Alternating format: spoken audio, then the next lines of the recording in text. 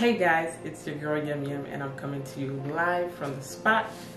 Today we are continuing our series, Is God Real? And we are going to talk about what do we do now that we have seen all these things to know that He's real. But before we get into that, it's your girl Yum Yum. I'm coming to you live from the spot. Welcome to Yem's World. Thank you so much for watching. I appreciate it. If you haven't already, go ahead and subscribe to the channel like this video and leave a comment in the comment section and share it if it's a blessing. All right, guys, let's get into it. okay, so today we are continuing in our series. This is part six of Is God Real? We're to delve into more detail about now that we've seen the many things and the many different pieces of evidence about how God is real and this list, by the way, guys, is in no way exhaustive.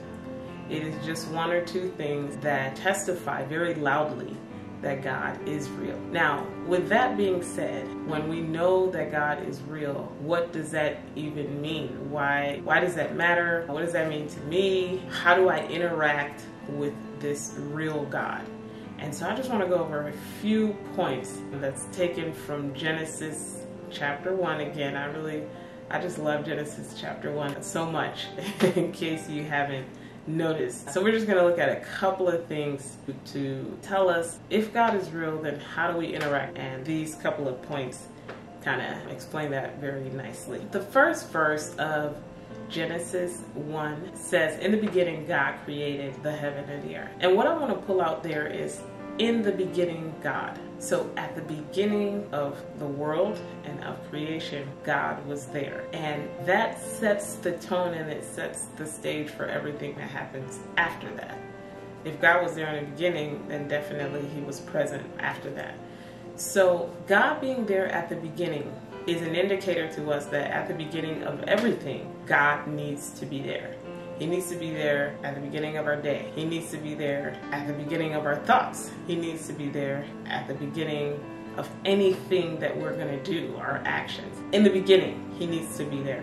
And he actually makes this pretty clear in Exodus chapter 20, which is the Ten Commandments. Verse 3 says, Thou shalt have no other God before me. So I am to be number one, top, beginning right? So the first thing that we need to do and think about as we interact with this God is that He is the beginning. And so we begin everything with Him.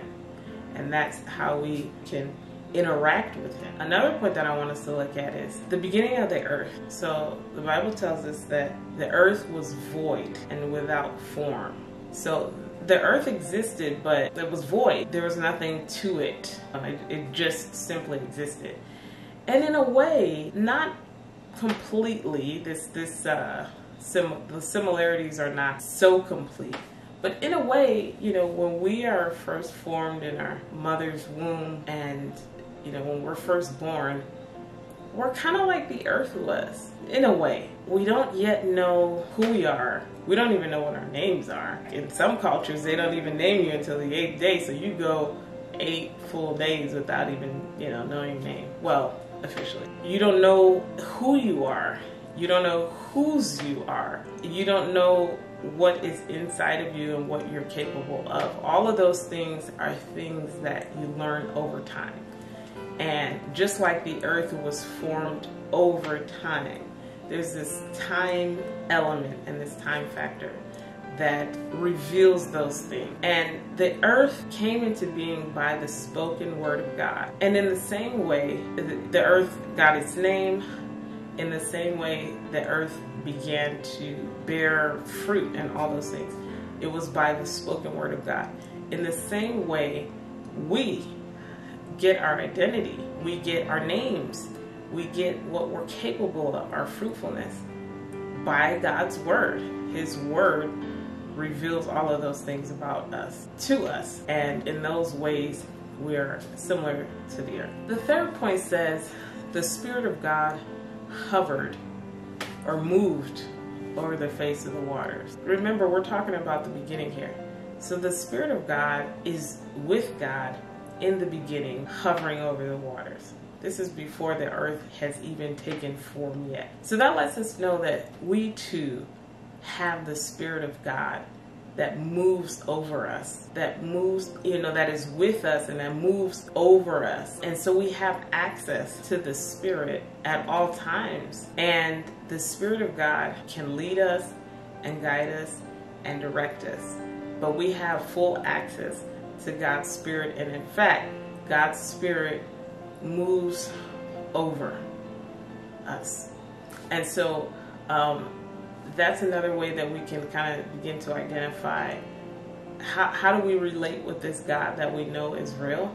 Well, His Spirit is there and available and accessible to us because He's moving all over the place. The last point that I'm going to talk about is light. God creates light because when the earth is formed initially, there's darkness everywhere.